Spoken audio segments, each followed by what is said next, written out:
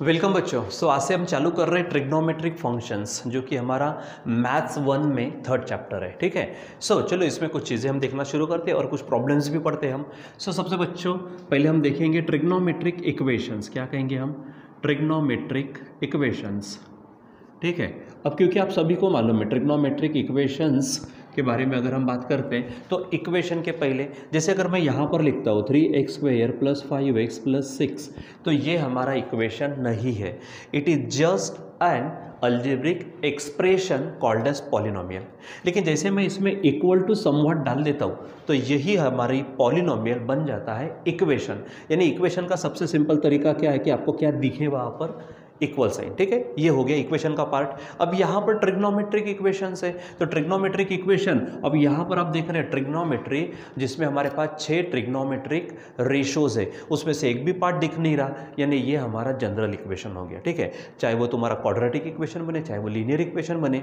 लेकिन जब तक इसमें क्या नहीं आता साइन कॉस टैन ऐसा कुछ नहीं आता तो समझ जाओ कि ट्रिग्नोमेट्रिक नहीं होगा. तो फिर इसके उल्टा ट्रिग्नोमेट्रिक इक्वेशन किसे कहेंगे? तो जिस इक्वेशन में हमको ट्रिग्नोमेट्रिक फ़ंक्शंस दिखे, जैसे एग्ज़ाम्पल अगर मान लीजिए कि मैंने कहा कि sine theta plus cos theta is equal to समझो कुछ भी ले लो यहाँ पर वन है एग्ज़ाम्पल ठीक है? अगर मैंने एक्स इज़ इक्वल टू यहाँ पर ले लिया A sine omega t plus alpha ठीक है? हो क्या रहा? इक्वेशन देखने के लिए इक्वल साइन दूसरी बात, वहाँ पे मुझे क्या मिला? साइन कॉस्टेंट मिला। ठीक है तो समझ जाओ कि वो हमारा क्या होगा? ट्रिग्नोमेट्रिक इक्वेशन होगा, ठीक है? सो ट्रिग्नोमेट्रिक इक्वेशन किसे कहेंगे फिर? तो सिंपल है, क्या कहेंगे हम? द इक्वेशन क्या कहेंगे हम? The equations having trigonometric function. Having, क्या बोलेंगे हम? Trigonometric functions. The equations having trigonometric functions. उसको क्या कहेंगे हम? ट्रिग्नोमेट्रिक इक्वेशंस कहेंगे। जैसे example sine two theta is equal to समझो हमारे पास में वन है। एग्ज़ाम्पल कुछ भी हो सकता। ठीक है? मान लीजिए कि हम एक आधा और एग्ज़ाम्पल लेते जैसे यहाँ पर लिया। X is equal to A sine omega t plus alpha जो आपको फिजिक्स फिजिक्स में मिल जाता। तो इसको क्या कहेंगे हम? ये हमारे पास में है ट्रिग्नोमेट्रिक इक्वेशंस, ठीक है? अब जैसे कि मान लीजिए कि मैं अगर a x square plus b x plus c is equal to zero लिखता हूँ तो दिमाग में पट से क्या आ जाता है? क्वाड्रेटिक इक्वेशन आता है। क्वाड्रेटिक इक्वेशन को सॉल्व करने के अलग अलग तरीके आते हैं। तो जो सॉल्व करते हैं, सॉल्व करने के बाद जो वेरिएबल की वैल्यू हमको मिलती है, उसको हम सोल्यूशन कहते हैं। उसको क्या कहते हैं? सोल्यूशन। तो यहाँ पर भी हमारे पास आएगा solution of trigonometric solution of trigonometric equations ठीक है? Trigonometric equation solution of trigonometric equations तो सबसे पहले भाई सॉल्यूशन का मतलब क्या होता है तो आप सबको मालूम है। वेरिएबल की ऐसी वैल्यू जो इक्वेशन को क्या करती है? सेटिस्फाई करती है। उसको क्या बोलेंगे हम? सॉल्यूशन तो यहाँ पर भी कहेंगे हम क्या बोलेंगे? द वैल्यू ऑफ़ वेरिएबल क्या कहेंगे? The value of variable the value of variable which क्या करती है? Which satisfies which satisfies the equations ठीक है? The trigonometric equations trigonometric equations जो ट्रिग्नोमेट्रिक इक्वेशंस को सेटिस्फाई करे वेरिएबल की उस वैल्यू को हम क्या कहेंगे? हमारे सॉल्यूशन कहेंगे, ठीक है? अब अगर हम बात करते हैं सॉल्यूशन की तो यहाँ पर सॉल्यूशन ठीक है? सॉल्यूशन ठीक है, आओ मैं थोड़ा शॉर्ट में लिखूँगा ट्रिग्नोमेट्रिक इक्वेशंस टी का मतलब क्या है? ट्रिग्नोमेट्रिक इक्वेशंस ठीक है? तो हम इसके दो पार्ट देखेंगे, यानी दो टाइप देखेंगे। एक होता है प्रिंसिपल सॉल्यूशन एक होता है प्रिंसिपल सॉल्यूशन और एक होता है हमारे पास में जनरल सॉल्यूशन ठीक है? प्रिंसिपल सॉल्यूशन और एक होता है जनरल सॉल्यूशन ठीक है? तो प्रिंसिपल सॉल्यूशन क्या है और जनरल सॉल्यूशन क्या है, वो हम देखेंगे। तो इसमें से हम अभी देख रहे हैं पहला, कौन सा देखेंगे हम? प्रिंसिपल सॉल्यूशन प्रिंसिपल सॉल्यूशन ये ध्यान में रखो, ठीक है? सो प्रिंसिपल सॉल्यूशन आप फिर किसे कहेंगे? तो ध्यान में रखना, जो सॉल्यूशन ज़ीरो से टू पाई के बीच में हो, उसको हम कहेंगे प्रिंसिपल सॉल्यूशन ठीक है? यानी द वैल्यू ऑफ़ वेरिएबल ठीक है? वैल्यू ऑफ़ वेरिएबल देखो सॉल्यूशन का मतलब तो हमने लिखच लिया वैल्यू ऑफ़ वेरिएबल लेकिन प्रिंसिपल सॉल्यूशन में क्या होगा? थोड़ा स्पेशल होगा। वो ज़ीरो से लेकर टू पाई के दरमियान अगर है तो समझ जाओ कि प्रिंसिपल सॉल्यूशन ठीक है? यानी प्रिंसिपल सॉल्यूशन यानी क्या बोलेंगे हम? The value of variable the value of variable या फिर मैं सिंपल कहूँगा सोल्यूशन विच लाइज बिटवीन ठीक है? सोल्यूशन ठीक है? Solution which lies lies between between ठीक है? किसके बीच में रहेगा वो? Zero to two pi, zero to two pi, ठीक है? अच्छा वो भी इस तरह से, ठीक है? या फिर वो रेंज में रहेगा, ज़ीरो टू टू पाए, इस तरह से बोलेंगे हम, ठीक है? दैट इज़ अगर मान लीजिए कि अल्फ़ा हमारा सोल्यूशन है तो वो किसके बीच में रहेगा? ज़ीरो से टू पाए बस, यहाँ पर आपने बराबर देखा है, ठीक है? यहाँ पर इधर में मैंने क्या किया? लेस देन और इक्वल टू लगाया, लेकिन यहाँ पे सिर्फ़ लेस देन इसका मतलब टू पाई के जो कम है और ज़ीरो से लेकर वो कुछ भी अगर आता है तो वो कहलाता है हमारा प्रिंसिपल सोल्यूशन क्या कहेंगे आप उसको? प्रिंसिपल सोल्यूशन ये ध्यान में रखो, ठीक है? तो प्रिंसिपल सॉल्यूशन हमको देखना है। अब बच्चों, हम यहाँ पर अगर बात करते हैं ट्रिग्नोमेट्रिक फ़ंक्शंस सबसे बड़ी बात यह है आपको कि ट्रिग्नोमेट्रिक फ़ंक्शंस ट्रिग्नोमेट्रिक इक्वेशंस उसके सॉल्यूशंस ये सब देखने के पहले, अब मैं आपको नहीं पढ़ाने वाला हूँ वो, क्योंकि आप ऑलरेडी ट्वेल्थ क्लास में हो, फिर भी अगर आपको लगता है कि इसका बेसिक से लेकर हमने अगर देखना है तो ऑलरेडी वीडियोज़ हमारे पास है, आप वो वीडियोज़ को देखिए हमारे, ठीक है? मैं आपको वो वीडियोज़ भी पॉसिबली आज या फिर कल आपको मैं सेंड कर दूँगा, ताकि आप ट्रिग्नोमेट्री को स्टार्टिंग से देखें, हर एक बारीक सारीक चीज़ अगर देखेंगे, और उसके बाद यहाँ से शुरू करेंगे तो बड़ी अच्छी बात है। और ऑलरेडी अगर आपको वो मालूम है उधर का, यानी ट्रिग्नोमेट्री फ़ंक्शंस क्या है साइन कॉस टैन सब क्या होता है, उनकी वैल्यूज़ क्या है अलग अलग हमने वैल्यूज़ देखे थी अलग अलग फार्मूलेस देखे थे, वो सब आपको माइंड में पहले फिट करना पड़ेगा। तब जाके आप इस चैप्टर में एंट्री कर पाएँगे। क्योंकि बेसिक लेवल पर हमने ऑलरेडी देखा भी है। नहीं अगर देखा है किसी ने लेट ज्वाइन किया है किसी ने तो आप वो वीडियोस को फिर से देखिए। जैसे कि तैसे जो क्लास में पढ़ाया जाता, वैसा ही एग्जैक्ट वैसा ही वहाँ पर है। आप मुझे बताएँ कि सर, हमको वो वीडियोज़ आप सेंड करिए, मैं आपको वो भेजूँगा। क्योंकि अभी all the videos all the playlist they are private so आप उसको देख नहीं पाएँगे जब तक आप मुझे मांगेंगे नहीं। मैं आपको शेयर करूँगा। ठीक है? तो आप मुझे बताइए कि अगर आपको लगता है तो मैं आपको शेयर करूँगा, ठीक है? अब, क्या कहा मैंने ट्रिग्नोमेट्रिक इक्वेशंस यानी जो ट्रिग्नोमेट्रिक फ़ंक्शंस के रूप में होते हैं वो। दूसरी बात सॉल्यूशन का मतलब क्या है? जो वैल्यू ऑफ़ वेरिएबल होती है, जो इक्वेशन को सेटिस्फाई करती है ट्रिग्नोमेट्रिक इक्वेशन को। वो ट्रिग्नोमेट्रिक इक्वेशन के सॉल्यूशन दो इसमें बांट देते हैं हम। एक हमारा प्रिंसिपल सोल्यूशन एक हमारा जनरल सोल्यूशन हमने शुरू किया है प्रिंसिपल सोल्यूशन ठीक है? तो solution which lies between zero to two pi यानी अगर मान लीजिए कि अल्फ़ा अल्फ़ा हमारा सोल्यूशन है, कोई भी वेरिएबल हो सकता। जैसे मैं यहाँ पे एक्स लिया हूँ टीटा लिया हो, कुछ भी हो सकता। तो दो मिनट के लिए हमने अल्फ़ा ले लिया। तो जो किसके बीच पे रहेगा?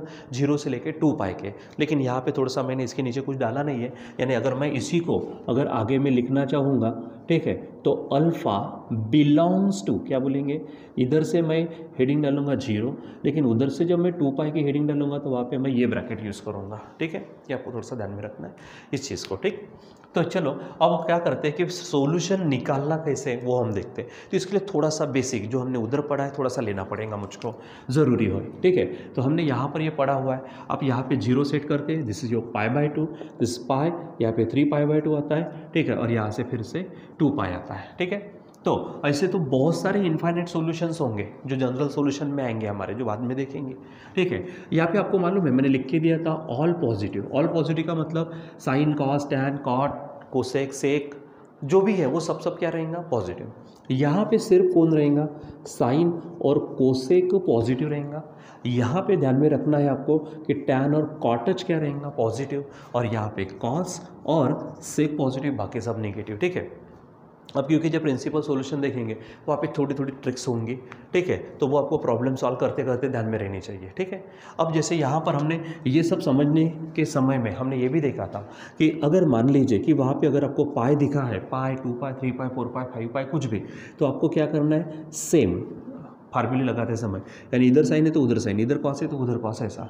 और अगर बाई टू अगर दिखता है तो डिफरेंट पेयर यानी इधर साइन है तो उधर कॉस इधर कॉस है तो उधर साइन टैन है तो कॉट कॉट टैन सेक है तो कोसे कोसे है तो सेक ये सब हम पढ़े हुए हैं।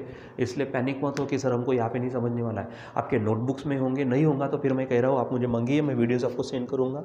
ठीक है? तो ये चीज़ों का इस्तेमाल हमको करना पड़ेगा। हमको मालूम चाहिए, देखो इसमें अगर है तो वो पूरे के पूरे पॉजिटिव है।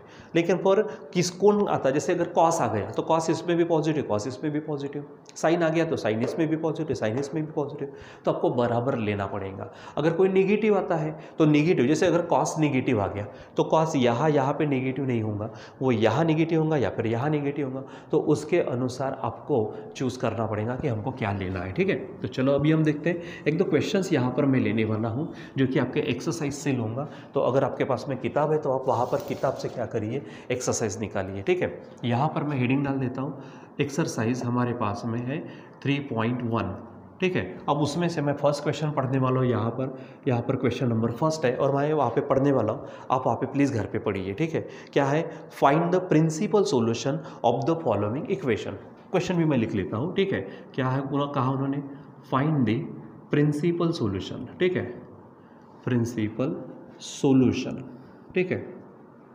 आप कंटिन्यू करना एक पूरे क्वेश्चन को। क्या है? एक बार फिर से find the principal solution of the following equations ठीक है? अब उसमें हमारे पास में है पहला पहला आप देख रहे हो, वहाँ पर अगर आप देखेंगे तो यहाँ पर है cot theta is equal to one by two cot theta is equal to क्या है? वन बाई टू वहाँ पर दिख रहा है आपको। आप उसको बराबर घर पे देखिए और हम उसको सॉल्व करेंगे, ठीक है? अब देखो, ये देखो इक्वेशन क्योंकि इक्वल साइन है। दूसरी बात कॉस दिख रहा है इसका मतलब ये ट्रिग्नोमेट्रिक इक्वेशन हो गया, ठीक है? अब इसको हमको सॉल्व करना है। अबर अब यहाँ पर देखो तो यहाँ पे हमको वैल्यू ना पॉजिटिव दी है। ठीक है? तो हमको क्या करना है? हमको ज़ीरो से लेके टू पाई तक कोई भी चलेगा तो हमको यहाँ दो वैल्यूज़ मिलेंगे।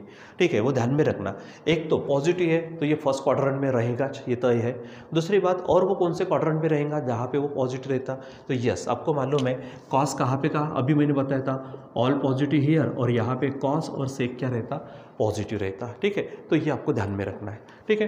तो सबसे पहले आपको ये बताना है कि cos theta is equal to one by two तो कॉस क्या यानी वन बाई टू चलो ढूंढो। मैंने आपको वो ट्रिक भी बताई थी कौन सी? यहाँ पर ये thirty one sixty root three ninety two अगर भूल गए होंगे तो बराबर देख लेना, याद करना। अब कॉस क्या कहा? वन बाई टू तो कॉस क्या कहता? वन बाई टू है ना? तो कॉस यहाँ पर लेंगे तो ये अपोजिट होगा। कॉस अपोजिट नहीं कहता। इसका मतलब वो यहाँ होगा। ठीक है? कॉस का मतलब एडजेसेंट और हाइपोटेनस। इसका मतलब 60 होगा। 60 का मतलब पाई बाय थ्री। आपको मालूम है कि वी नो दैट क्या है हमारे पास? आपको बराबर ढंग से करना है सॉल्व वी नो दैट कि जो हमारे पास पाई बाय थ्री है cos pi by three is equal to क्या होगा? वन बाई टू होगा। Cos pi by three is equal to क्या? One by two. इसका मतलब cos theta is equal to one by two. Cos pi by three is equal to भी one by two है। इसका मतलब एक value तय होगी कि थीटा की वैल्यू क्या आ गई? पाई बाय थ्री आ गई। ठीक है? ये प्रिंसिपल वैल्यू कहलाएँगी। देखो आप पाई बाय थ्री जो है ना, इसके बीच में है। ठीक है? तो this is your principal value ठीक है? ऑफ़ द गिवन इक्वेशन लेकिन एक बात बच्चों, मैंने आपसे कहा, अभी थोड़ी देर पहले कहा कि यहाँ पे पॉजिटिव है तो कॉस यहाँ पर भी क्या है? पॉजिटिव है। ठीक है? यहाँ पर भी पॉजिटिव होता है। लेकिन यहाँ पर मैं अगर सेट करता हूँ तो ये टू पाई है, यहाँ पे अगर लेते हैं तो थ्री पाई बाई टू है। इसके अनुसार जाएँगे ना बच्चों, थोड़ा साइन में कन्वर्ट हो जाएगा। हम क्या करते हैं, वापस इधर से लेते हैं। तो आपको अलाइड एंगल बोलते हैं उसको। क्या बोलते हैं? अलाइड एंगल यानी ऐसे एंगल जिनका डिफरेंस या तो ज़ीरो आता है, या फिर वो मल्टीपल ऑफ़ नाइन्टी के फॉर्म में होता है। ठीक है? उसको अलाइड एंगल बोलते हैं। तो वहाँ पर हम हेडिंग डाल सकते हैं वो बाय अलाइड एंगल फार्मूले वगैरह। नहीं तो फिर डायरेक्ट लिखो ठीक है? ऑल्सो क्या बोलेंगे हम? वी नो दैट ठीक है? जो कॉस होता है हमारे पास में तो cos theta is equal to क्या होता है? ठीक है cos theta is equal to अगर हम इसके अनुसार अगर जाते हैं तो क्या होगा? Cos two pi minus theta आप इसको चेक कर सकते हो, ठीक है? Cos two pi minus theta मैंने कहा था, अगर पाई है टू पाई है थ्री पाई है तो सेम आएगा, ठीक है? इस तरह से। क्योंकि यहाँ पे पॉजिटिव है, इसको अगर पीछे में लेंगे तो cos two pi minus theta हो जाएगा। तो ये सेम वैल्यू देगा आपको, ठीक है? अब यहाँ पे थीटा कितना आ चुका है? पाई बाय थ्री सो मैं यहाँ पे लिखता हूँ कॉस पाई बाय थ्री। अगर इधर में अगर हम जाते हैं तो क्या हो जाएगा यहाँ पर? थीटा के जगह पे पाई बाय थ्री तो यहाँ पर भी कर लो आप। ये टू पाई है, माइनस थीटा के जगह पे क्या होगा? पाई बाय थ्री होगा, ठीक? अच्छा अब कॉस पाई बाय थ्री क्या है? वन बाई टू है। और इसको अगर सॉल्व करते हैं तो क्या हो जाएगा? कॉस इसको सॉल्व करो तो यहाँ पे बनेगा, इसको क्रॉस करो। इसके लिए कुछ नहीं वन तो थ्री टू ज़ा क्या होगा? सिक्स पाए माइनस ये पाए अपॉन थ्री यानी आंसर क्या हो जाएगा? फाइव पाए बाय थ्री हो जाएगा ऐसा? ठीक है? इसका ये मतलब हुआ बच्चों कि यहाँ पर cos five pi by three की वैल्यू भी वन बाई टू आती है। इसका मतलब हमारे पास में थीटा और क्या हो जाएगा? Theta is equal to five pi by three ठीक है? यानी हमको इसकी दो वैल्यूज़ मिलेंगी। दो वैल्यूज़ मिलेंगी। ठीक है? एक कौन सी? पाई बाय थ्री और एक मिलेंगी हमारे कौन से? फाइव पाई बाय थ्री ठीक है? और इसलिए मैं फाइनली कहूँगा कि प्रिंसिपल सोल्यूशन क्या कहेंगे हम? प्रिंसिपल सॉल्यूशन ठीक है ऑफ़ इक्वेशन ठीक है गिवन इक्वेशन ठीक है तो कौन सा कौन सा आ गया? एक आ गया हमारा पाई बाय थ्री और दूसरा आ गया हमारा कौन सा? फाइव पाई बाय थ्री और आप देखो, ये दोनों के दोनों हमारे ज़ीरो से टू पाई के दरमियान है। अब यहाँ पर कॉमा करके लिख सकते हो क्या? कि पाई बाय थ्री ठीक है, किसके बीच में रहता है वो? तो pi by three lies between zero to ठीक है टू पाई यहाँ पर हम ऐसा हेडिंग डाल देंगे। ऊपर से यहाँ पर भी आप लिखेंगे five pi by three lies between zero to two pi ठीक है? ये आप ध्यान में रखेंगे। इसलिए हमारा प्रिंसिपल सॉल्यूशन क्या होगा? Five pi by three five pi by three या फिर पाई बाय थ्री तो ये आपको बराबर ढंग से क्या करना है? सॉल्व करना है, ठीक है? तो इस तरह से बच्चों हम कर सकते हैं, ठीक है? हम और भी इसको एग्ज़ाम्पल लेंगे, ठीक है? आप थोड़ा सा इसको क्या करिए, देखिए क्या क्या हो रहा तो ठीक है बच्चों? देखो। सो so, देखा बच्चों तो इस तरह से आपको क्या करना होता है? सॉल्व करना होता है। ठीक है? चलो और एक क्वेश्चन लेंगे हम वहाँ से। वहाँ पर है सेकंड क्वेश्चन हमारे पास में। तो आप देख रहे हैं यहाँ पर है हमारे पास second question sec theta is equal to वहाँ पर दिख रहा मुझको टू बाय रूट थ्री क्या नज़र? आ रहा है टू बाय रूट थ्री तो जैसे ही आपको इक्वेशन दिया जाए सिंपल करना क्या है? मैंने कहा, सबसे पहले तो सेक की कौन सी value two by root three आती वो चेक करो। तो टू बाय रूट थ्री के लिए, अगर आपके पास नहीं है तो thirty one sixty root three ठीक है? और नाइन्टी टू ठीक है? अब आपको चाहिए टू बाय रूट थ्री चाहिए, ठीक है? तो अगर मैं मान लीजिए कि इसके सामने अगर जाता हो तो ये अपोजिट ये क्या होगा? हाइपोनिस अपन अपोजिट जो कोसेक होगा, नहीं चाहिए। इसलिए ये नहीं हो सकता। फिर यहाँ पे जाएँगे।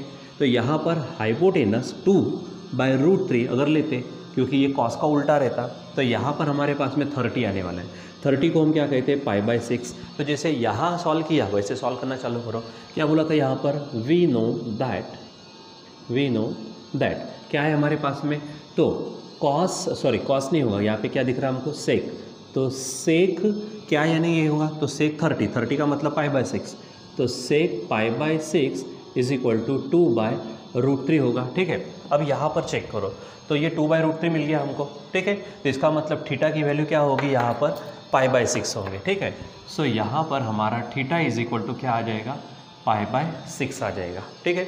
ये सबसे पहले चेक किया। लेकिन जैसे मैंने कहा कि यहाँ पे ये ये इस रेंज में रहेगा। या फिर दो वैल्यू पे फोकस करना है, दो वैल्यू रहेंगी। एक वैल्यू तो हमको डायरेक्ट मिल गई ये पाई बाय सिक्स अगर आप देखते हो तो पाई बाय सिक्स आपको ये पाई बाय टू है, ये ज़ीरो है। तो यहाँ पर ये मिल गया। और सेक यहाँ पे देखो सेक दिया था। सेक और क्या यानी हमारा क्या हो जाएगा? टू बाय रूट थ्री ठीक है तो पॉजिटिव देखो तो यहाँ पे ऑल पॉजिटिव तो ये हो गया. दूसरा, यहाँ पे साइन कोसेक रहता है, यहाँ पे टैन कॉट तो यहाँ पे नहीं हो सकता. तो सेक यहाँ पे हमको मिलेगा. तो यहाँ पर अगर निकालना है तो यहाँ पे टू पाई सेट करते टू पाई माइनस थीटा ले लो. जैसे यहाँ पे काम किया था. देखो, ये थीटा को हम साइड में लिख देते क्या? कि pi by six lies between zero to two pi ठीक है? इसको ऐसा लिख के रख दो तो ये हमको चलेगा. दूसरा, फिर अल्सो यहाँ पर हेडिंग डालो. ठीक है, क्या हो जाएगा? अल्सो ठीक है, क्या बोलेंगे, जैसे यहाँ पे cos theta is equal to ये लिया तो या यहाँ पर है तो यहाँ पे थ्री पाई बाई टू में मतलब क्योंकि वो साइन में चला जाएगा, या फिर कोसेक में जाएगा, दूसरे इसमें अदर इसमें जाएगा। तो हमको सेक चाहिए तो टू पाई माइनस ले लो। तो हम क्या बोलेंगे वहाँ पर? Sec theta is equal to sec two pi minus theta हो जाएगा, ठीक है? अब सिंपल थीटा कितना आ चुका है? पाई बाय सिक्स तो सेक थीटा कितना रखेंगे हम? Pi by six is equal to, यहाँ पर भी रखो तो सेक ये टू पाई है माइनस थीटा की वैल्यू रखेंगे पाई बाय सिक्स, ठीक है? ये बराबर आपको चेक करना है कि कहाँ पे कौन पॉजिटिव रहेगा, कौन निगेटिव रहेगा। ये इतना एक बार आपने ले लिया कि काम हमारा हो गया। चलो इसको सॉल्व करो। तो सेक पाई बाय सिक्स अभी देखा था क्या है? टू बाय रूट थ्री है, इज़ इक्वल टू, यहाँ पे सेक देखो, अब इसको सॉल्व करते हैं हम। तो ये क्या होगा क्रॉस करेंगे तो twelve pi minus one pi upon six. तो ट्वेल्व पाई में से वन पाए गए एलेवन यानी यहाँ पर क्या मिलेगा हमको? एलेवन पाए बाय सिक्स ये मिल जाएगा। तो इसका मतलब two by root three sec की देखो sec theta is equal to two by root three था, और sec eleven pi by six भी टू बाय रूट थ्री आया। इसका मतलब हमारा थीटा फिर से एक नया आएगा, कौन सा? एलेवन पाई बाय सिक्स ये ध्यान में रखो। दूसरी बात, अगर आप इसको थोड़ा सा अच्छा लिख लो एलेवन पाई बाय सिक्स आप ऐसा भी लिख सकते हो। दूसरी बात, अगर आप देखेंगे, इसको अगर डिवाइड करते हो तो सिक्स वन जा, क्योंकि सिक्स टू जा नहीं होगा, ठीक है? तो सिक्स वन जा हो गया ना, यानी ये उस रेंज में बैठ गया टू पाई के नीचे आ गया। यहाँ पे लिख दो, क्या है? Eleven pi by six lies between zero to two pi हो जाएगा ऐसा। तो ये हमारा प्रिंसिपल सॉल्यूशन हो गया, और इसीलिए आप फाइनली लिखेंगे प्रिंसिपल प्रिंसिपल सॉल्यूशंस ठीक है?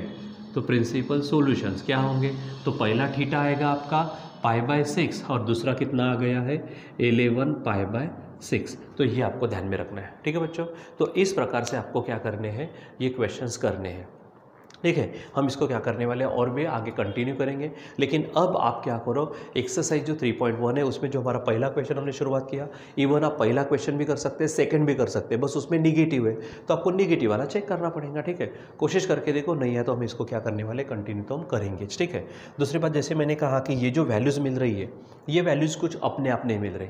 ये मैंने कहा कि ये आपको क्या है कि आपको जिसके पहले जो बेसिक हमारा हो चुका है, उस बेसिक को अगर आप ढंग से देखेंगे, ठीक है? स्टार्टिंग से लेकर कौन सी वैल्यू क्या होंगी, हमने अलग अलग पद्धति से सभी कैसे ध्यान में रखना है, वो सब भी देखा हुआ है। तो आप उसको पहले करिए अलग अलग फार्मूले देखें फैक्टराइजेशन फार्मूले डी फैक्टराइजेशन फार्मूले एडिशन फार्मूले डबल एंगल फार्मूले ट्रिपल एंगल फार्मूले हाफ़ एंगल फार्मूले ये सब देखा हुआ है। तो इन सबको अगर आप देखेंगे तो आपको कोई परेशान नहीं होंगे, नहीं तो फिर आपको ये समझेगा नहीं। तो मैं चाहता हूँ कि आपको समझना चाहिए ना तो ठीक है, फिर इसको अच्छे से आप क्या करो प्रैक्टिस भी करो, इसके पहले वाला भी करो और इसको भी करो। ठीक है बच्चों? तो अभी हम इसके लिए आज के लिए रुकते हैं, इसको फिर हम कंटिन्यू करेंगे कल से और भी ठीक है?